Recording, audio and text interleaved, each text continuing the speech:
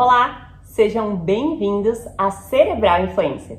Os sintomas da gravidez não resumem-se somente à parte física do corpo. As mudanças morfológicas visíveis realmente são apenas um reflexo de todas as transformações que o corpo de uma grávida sofre desde a concepção do feto. Um estudo recente com 20 voluntárias realizado na Universidade Holandesa de Leiden, publicado no periódico científico Nature Neuroscience, apontou que o cérebro das mulheres que estão gerando um bebê diminui consideravelmente. Ou seja, a massa cinzenta cerebral comprime-se durante a gestação de fato, nesse período, as áreas do córtex frontal e temporal e a linha mediana sofrem um movimento de redução. No entanto, um cérebro menor pode ser mais especializado em determinadas funções, e é exatamente isso que acontece com as gestantes. Estas regiões estão ligadas ao sentimento de empatia. Desse modo, estas modificações facilitariam a criação do vínculo entre mãe e filho.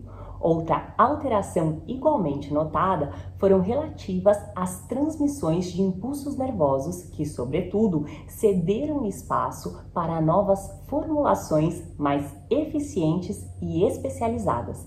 As gestantes, contudo, podem também apresentar falhas de memória durante a gestação, e inclusive logo após o parto a justificativa para isso reside no fato de que tanto a gravidez quanto a maternidade são eventos de transformações profundas que acarretariam invariavelmente em consequências duradouras para o cérebro humano.